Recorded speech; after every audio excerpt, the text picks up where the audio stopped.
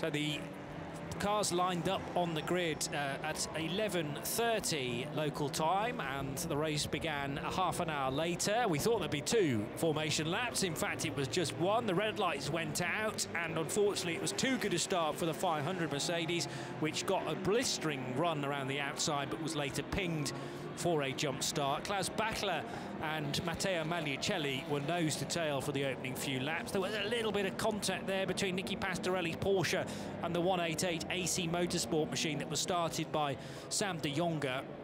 And the 15 car coming in for an early stop, that's the Top Sport WRT entry of Germany. Hendrik Still doing the opening stint, but uh, a good little driver lineup there for that A6 AM uh, uh, entry.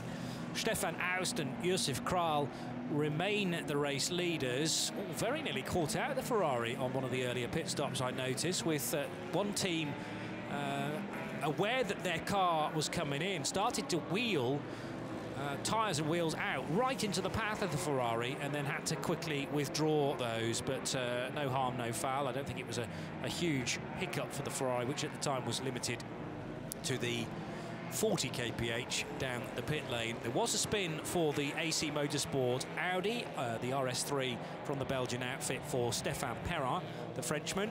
And the 93 car then getting a good start and actually still leads at this stage with that car now going through turns one, two and